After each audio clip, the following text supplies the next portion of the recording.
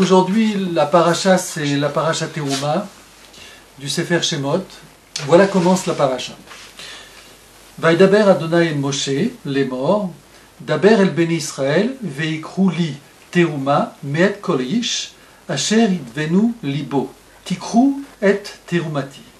L'Éternel parla à Moïse en disant Parle aux enfants d'Israël et qu'ils me prennent une offrande de la part de quiconque qui sera porté par son cœur. Vous prendrez mon offrande. Tikru et terumati. Et voici l'offrande que vous prendrez d'eux. Vezot a teruma asher tikru miitam. Or, argent et cuivre. Quatre étoffes d'azur, de pourpre, d'écarlate. Zahav, chesed, kesef, unchoshet. Outrelet vergaman. Vetola shani, shesh izim quatre étoffes d'azur, de pourpre, d'écarlate, de fin lin et de poils de chèvre. Plus loin dans le texte, Veasuli migdash, Veshachanti betocham. Et vous construirez un, temple et je résiderai parmi eux. Ici, le début de la paracha démarre sur le temple, le Beth Amikdash. Alors, on va répéter juste les différentes étapes de la sortie d'Égypte et son accomplissement jusque au moment de notre paracha où il est question donc du, du Beth Amikdash et vous allez voir finalement le déroulement, le mécanisme de la délivrance et son objectif final. Donc l'objectif final, c'est de rentrer en Israël et de construire le Beth Amikdash. On voit la référence par rapport à la réalité, on voit que ces événements se sont déroulés et entre autres l'arrivée en Israël. Il nous reste un certain nombre d'étapes, dont la construction du Beth Amikdash, mais dans la réalité, les choses se réalisent. Donc voilà. Donc la première étape a été de sortir de l'esclavage. La seconde étape a été l'élévation spirituelle, l'élévation morale pour euh, recevoir justement la Torah. Il fallait préparer le Ham Israël, on a vu, qui était descendu à même tête et c'est-à-dire 49 portes de l'impureté, et donc de la moralité. Il fallait donc que Israël monte, s'élève spirituellement et moralement. La troisième étape, c'était de recevoir la Torah.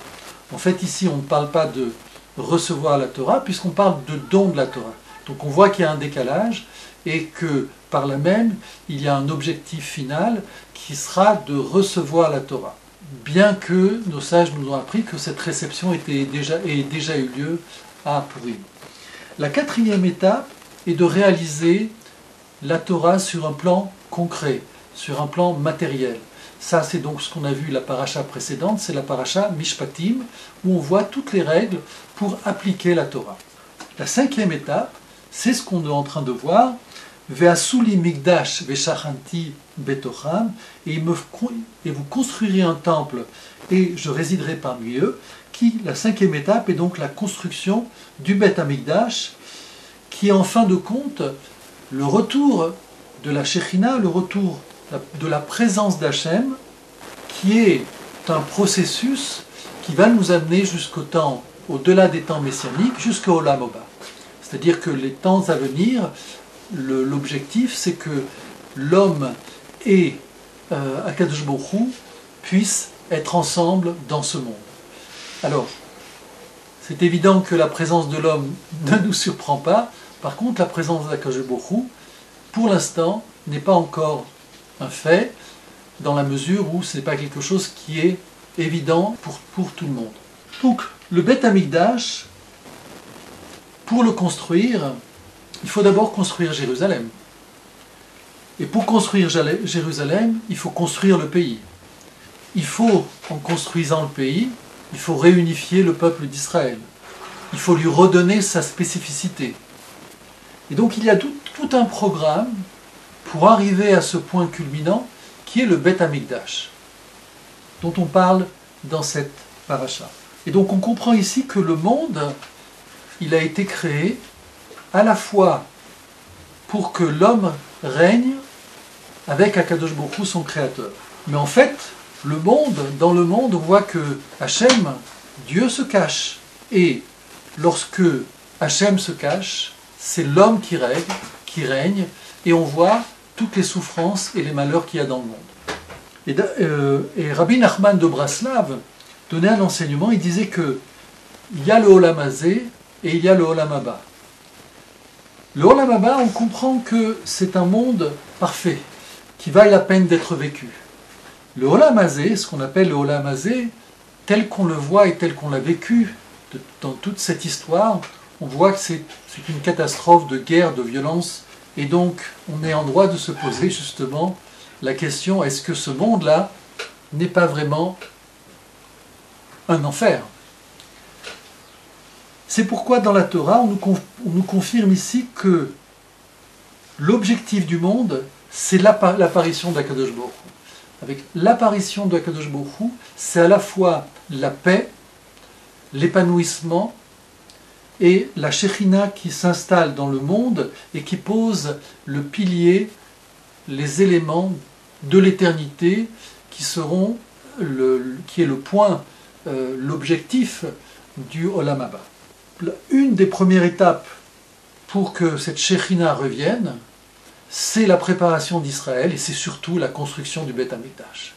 Le Beth, le Beth Amikdash est le moment ultime de la présence d'Akadosh On va voir maintenant les enseignements du Or sur cette paracha qui nous amène à la construction du Beth Amidash, mais plus particulièrement du Mishkan, qui est le tabernacle. Et comme ça, donc, est le texte d'Aber el Beni Israël, Veikrouli Teruma, Meet Kolish, Asher Idvenu Libo. Donc, et de par aux enfants d'Israël, ils me prendront la, la terouma, le prélèvement de tout homme qui sera porté par l'élan de son cœur. Le Horachaim dit comme ça Vaikru li. Tsarik ladat, lama katav ve, vaikru. Bitrilatanya. Il dit comme ça, et ils prendront pour moi.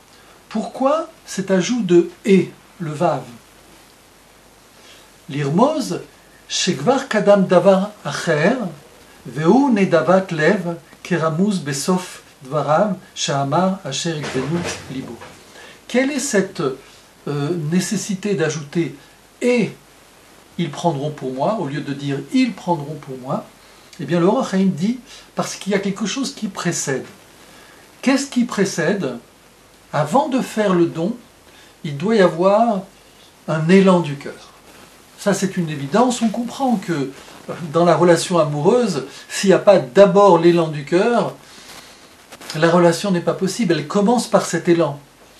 Euh, dans toute chose, on a une, envie, on a quelque chose qui précède. Ici, c'est cette idée de... Euh, il ne suffit pas de remplir et de faire une mitzvah. Il faut qu'il y ait vraiment une volonté profonde chez la personne du domaine de, du domaine de l'émotion.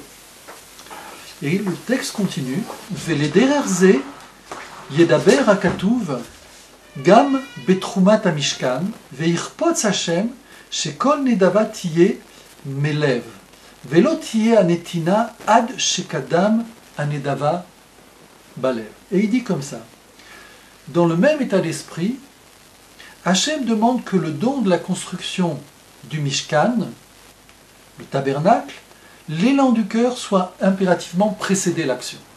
Ici, il y a deux choses qui viennent se superposer. C'est l'idée du Beth Amikdash et tout d'un coup on nous parle du tabernacle, du Mishkan. Et le Horachaim vont poser cette question, le texte démarre sur le Beth Amikdash et puis ensuite, euh, considérations concrètes vont démarrer sur le Mishkan. Tikru et Teumati. Ubdere remez irtse sheikaven kol echad ledabek bashem prinat nefesh anikra teuma beemtsa amase. Là, au début, on a parlé de la teuma dans le sens de prélèvement d'une somme, d'une demi-cycle de shekel. Ici, on parle de quelque chose concret, d'argent. Là, le Horachaim va parler d'une teouma, d'un prélèvement, mais au niveau de notre âme. Et il dit comme ça par sous-entendu, la Torah donne l'obligation à chacun d'attacher son âme à Akadosh Baruch au travers de l'offrande qu'il apporte. C'est-à-dire qu'il y a l'offrande, précédé par l'offrande, il y a l'élan du cœur, et fondamentalement, le lien d'attacher son neshama à Kadosh Baruch. Le texte va continuer encore un peu plus haut et va dire comme ça. Veu omro, vaikruli teruma, qui en effet chez l'Israël tikra teruma. Dirtiv, Kadesh Israël Lachem, Reshit Tevuoto, ou Trumat Nikrat Reshit. Et il dit comme ça, il est dit qu'ils prennent pour moi. Qu'ils prennent pour moi quoi? Car l'âme d'Israël est appelée aussi Teruma, prélèvement.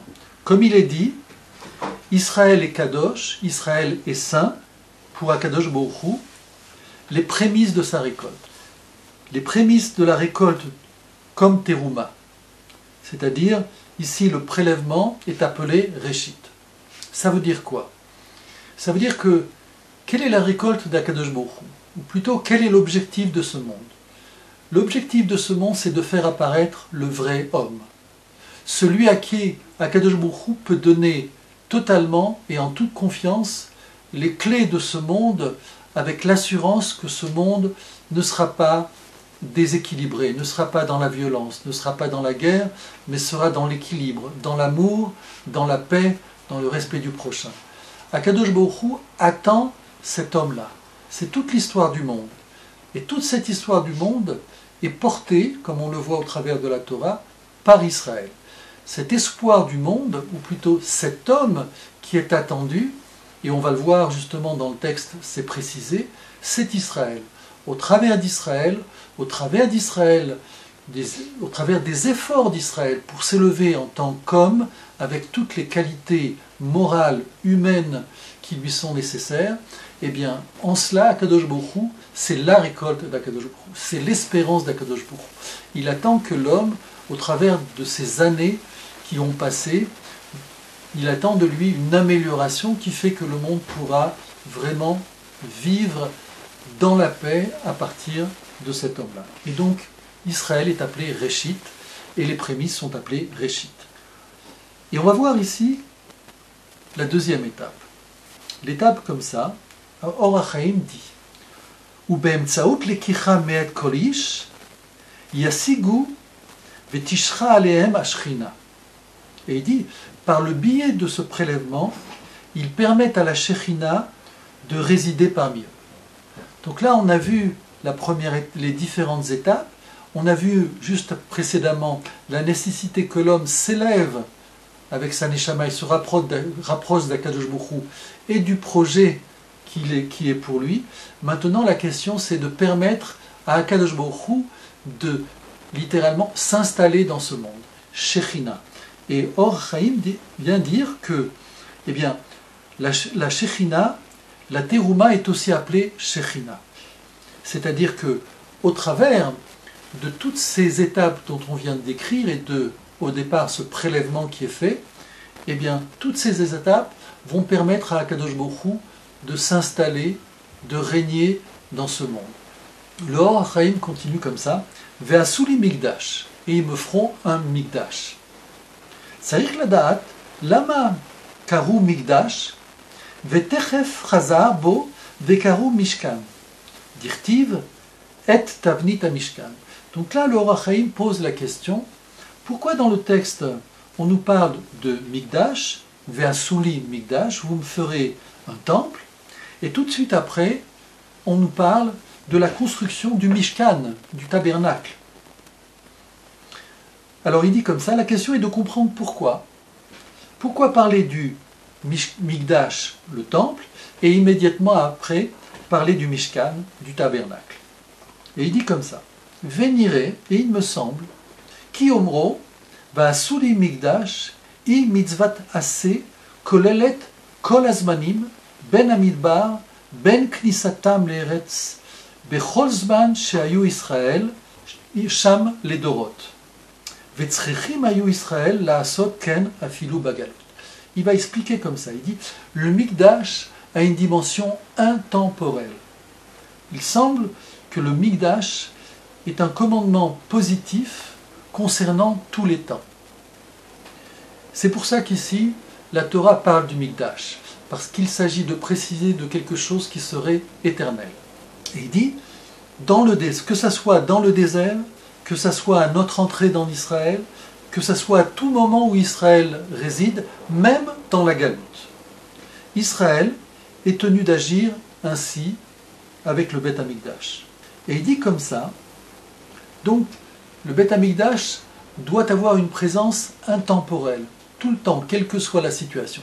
Sauf, et ici le Hor va préciser, une situation particulière qui n'est pas encore de notre époque, mais qui le sera. Il dit comme ça. Et là, chez Matsinu, chez Asar Akadosh Bokhu, Kol Mekomot, Met, chez Tivne Bet Amigdash, Keomro, et il dit comme ça. Mais nous constatons qu'Hachem a interdit en fait tous les lieux durant le temps où le Bet Amigdash existe, ou existera. Comme il est écrit, qui lit, Et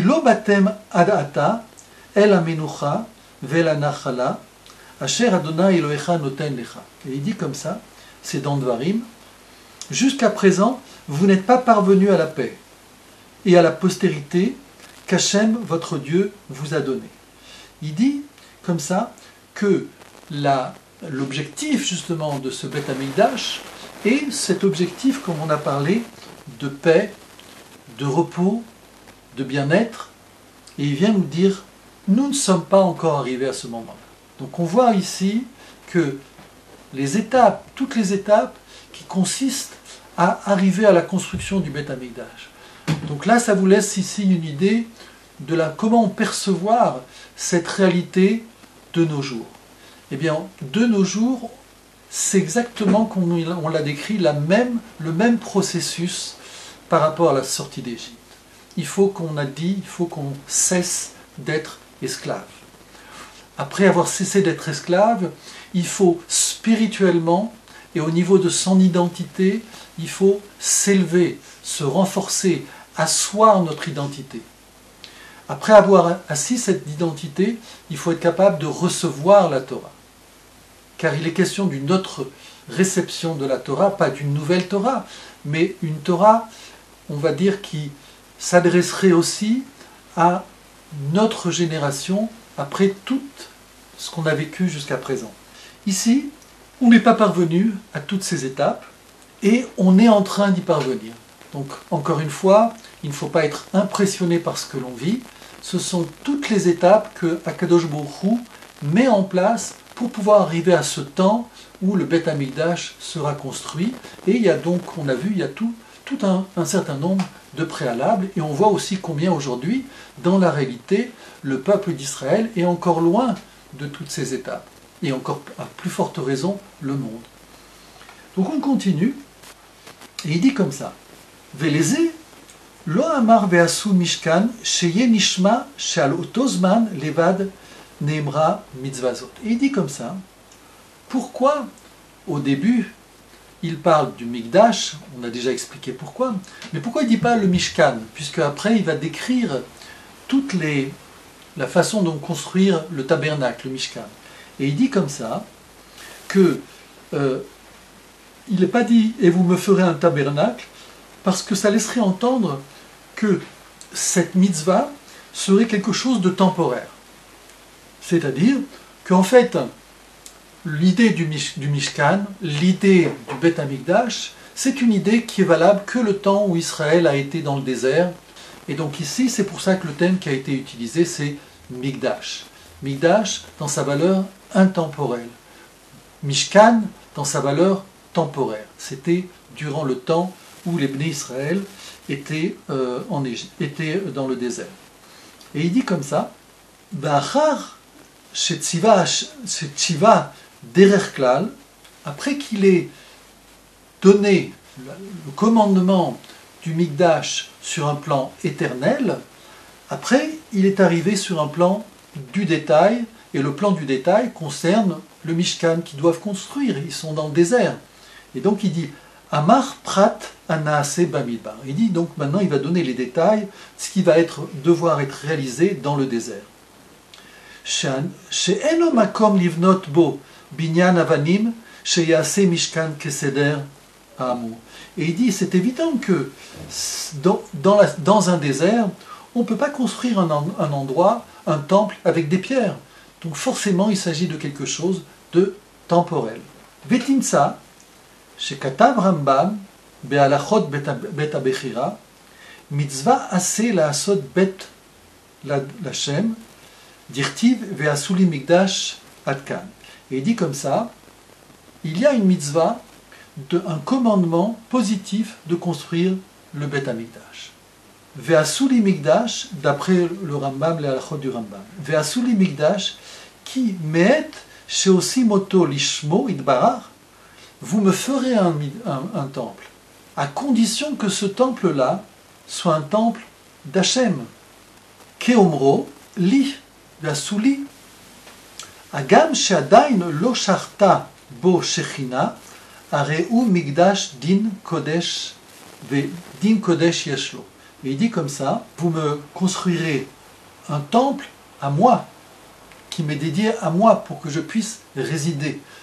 Donc ici on voit toutes les étapes qui sont nécessaires pour évacuer toutes les idoles, toutes les pensées qui peuvent être investies dans le temple et qui ne peuvent pas justement apparaître au moment de, la construction du temple. Donc tout ce travail de filtrage, on va dire comme ça, doit se faire précédemment pour que le temple soit dédié totalement à Kadosh Baruch Et il dit comme ça, et même si Hachem n'y réside pas encore, c'est-à-dire qu'il n'y a pas encore tous les éléments pour que la Shrina, la présence d'Akadosh Baruch apparaisse dans le temple, c'est un Mikdash, c'est un temple à part entière et dans toute sa sainteté. On comprend ici que il y a tout un temps de préparation, il y a des étapes jusqu'à temps que vraiment Akadosh Baruch réside parmi. Et il dit comme ça, Veshachanti Betocham. Vous rappelez cet enseignement? Pourquoi Betocham Pourquoi en eux Veshachanti, Betamigdash. Velo Amar Betocho. Je résiderai à l'intérieur du Betamigdash. Lomar Makom Asher Yagdishu Leshrino Aya Betor Ben Israël. Pour nous dire que, en fait, au bout du compte, Akadosh Baruch règne dans le temple au travers d'Israël. D'ailleurs, le Rochaim, dans le Sefer Dvarim, dit que Israël est appelé la Shrina. Israël est appelé la résidence d'Akadosh Baruch Et il dit pourquoi? Chez Israël, chez, chez Kifu Amishkan, Be Arbad Galim. C'est-à-dire que quand Israël était dans le désert, autour du Mishkan, ils ont planté quatre drapeaux. C'est-à-dire que c'est Israël qui, a entouré, qui s'est mis autour du Mishkan de la présence d'Akadosh Baruch où Akadosh Baruch a accepté et a demandé de résider. Donc il réside à l'intérieur du camp d'Israël, au milieu du camp d'Israël. Donc voilà pour toutes les étapes on a vues pour permettre la construction au bout du compte du Beth Amikdash, tous les éléments dont on a vu qui vont être nécessaires dans la préparation qui fait que Akadosh Baruch résidera dans le monde et c'est l'objectif. Et pour compléter et pour euh, élargir toute cette vision, je vais amener les enseignements, un enseignement du Rav Léon Ashkenazi Manitou sur cette idée Ve'asuli migdash ve'shachanti betocha. Et betocham, vous me ferez un temple et je résiderai parmi eux. Et il dit comme ça dès qu'Israël accepte le principe d'être le peuple de la Torah, c'est-à-dire que ce n'est pas simplement de, recevoir la Torah ou d'accepter la Torah, c'est d'être le peuple de la Torah. Alors le premier message de Moïse va pouvoir se réaliser. Et quel est le message de, Moshe? On voit dans la paracha de Yitro, qui va dire mamlechet kohanim vegoy kadosh. Et vous serez pour moi un royaume de, prêtres et une nation sainte, sainte. Donc ici on voit que le programme d'Israël, il est clair. Ce programme, c'est Israël est défini par rapport au reste de l'humanité. à partir du Beth Amikdash. Et il dit comme ça, donc, il y a ici une centralité, une dimension universelle d'Israël. Mais on va voir que cette dimension universelle est précédée, et on l'a vu, est précédée par certaines étapes. Avant d'arriver à ces niveaux d'universalité, il faut qu'Israël soit prêt. Et il dit comme ça, il donne un exemple justement de cette universalité qui est prévue à la fin des temps, comme il donne un exemple du prophète, du prophète Isaïe, Eshaya, et il dit comme ça, qui biti, beti, bet tefila, lechol amim. Et il dit car comme ça, car ma maison sera nommée maison des prières pour toutes les nations. Et donc on comprend ici que l'objectif évidemment du Beth Amikdash concerne l'humanité tout entière. Et qui va servir d'intermédiaire, qui va faire le travail, littéralement, ce sont les prêtres, c'est tout Israël. C'est-à-dire que tout Israël va être upgradé, va être élevé au niveau des Kohanim. Le prophète Isaïe et les autres prophètes nous annoncent clairement que la fonction du Beth sera effectuée par les Bnei Israël pour toutes les nations. Et il dit comme ça, donc il y a deux fonctions. La première fonction, c'est d'asseoir l'identité d'Israël. C'est ce qu'on a vu ici durant toutes les premières parties du Sefer Shemot jusqu'au Mishkan. On voit qu'il y a tout un travail, j'ai donné ici les cinq étapes qui, sont nécessaires. Donc il faut d'abord asseoir l'identité d'Israël, puis ensuite être universel. Il y a un ordre. La dimension universelle n'est possible ou ne peut arriver que parce que il y a la spécificité d'Israël est acquis. Et donc on comprend qu'ici il y a tout un, processus que nous vivons. Et donc si nous avons des épreuves, si nous voyons des choses peuvent nous faire peur, eh bien, ce sont toutes ces épreuves que Akadosh Baruch met en avant pour appeler Israël à remplir son rôle, à nous à remplir notre rôle. De façon individuelle, c'est ce que chacun essaye de faire, de s'améliorer individuellement, de s'approcher de Hachem individuellement, d'étudier la Torah, de, de faire un travail sur un plan moral. Ça, c'est au niveau de l'individu. Il y a aussi la nécessité de construire l'unité d'Israël. Et là, on en a déjà parlé. Aujourd'hui, malheureusement, il y a un danger de division.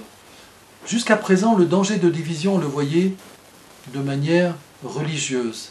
Les Ashkénazes, les Sfarades, les Yéménites, toute cette multiplicité d'identités juives qui reviennent dans le pays. On, on craignait cette division. Cette division n'a pas vraiment lieu. Il y a des problèmes, mais aujourd'hui, avec, ne serait-ce qu'avec les mariages euh, entre les enfants, elle est pratiquement où elle est en voie d'être résolue. Ensuite, le problème politique, qu'on appelle le problème palestinien, cette division. On s'aperçoit qu'au bout du compte, on traverse cette division et elle est en devenir et en passe de, réussir. Entre autres, aujourd'hui, on voit que euh, la, ville de Jérusalem, la capitale d'Israël, a été reconnue. C'est un processus qui est en place et, qui va continuer. Mais maintenant, il y a une autre épreuve encore plus forte parce qu'elle vient jouer sur la, force de vie de chacun. Le désir de vivre, c'est la problématique avec le corona, c'est la problématique avec le vaccin, qui fait que chacun a peur de, la mort. Chacun a peur, a craint d'être touché par cette maladie qui mettrait en péril sa vie. Et donc, ça devient aujourd'hui euh, extrêmement tendu dans la mesure où les uns vont avoir peur de, de s'approcher des autres, les autres vont, vont, vont s'opposer à cette différence. Il va y avoir un certain nombre de... Il y a déjà un certain nombre de divisions qui entraînent derrière une certaine violence, un certain refus de l'autre et une partition de la société israélienne. Et ici, dans le processus, projet d'Akadosh Baruch d'apparaître dans ce monde, de résider au sein du Beth Amikdash, on voit qu'il y a ici un problème, parce que tout cela est possible, toute la dimension universelle d'Israël est possible, que Israël s'assoit dans son identité et retrouve ou euh, euh, établit son unité. Au bout du compte, Israël va devenir, c'est pas seulement il doit, va devenir un ensemble de prêtres pour toute l'humanité. Donc effectivement, on voit qu'on est un petit peu éloigné, mais on va y arriver. Et, euh, si on n'y arrive pas, on sait qu'il y a deux éléments euh, qui bloquent. Le premier élément, c'est intérieur. Israël, jusqu'à présent, n'a pas été capable d'arriver à ce niveau. On n'a pas été capable. On ne veut pas. Il y a des réticences, il y a des divisions. la, première difficulté est, vient d'Israël. La deuxième difficulté, et on le voit, c'est que l'humanité est opposée, le monde est opposé, et euh, en premier lieu, toutes les dénonciations et les, comment dire, les condamnations de l'ONU. Donc ici, effectivement, il y a un travail qui commence par le peuple d'Israël. Et c'est ce que dit, termine justement l'enseignement de Manitou, et je terminerai là-dessus, il dit comme ça. Le secret de la Torah, c'est que tout cela n'est possible que s'il y a de la sainteté.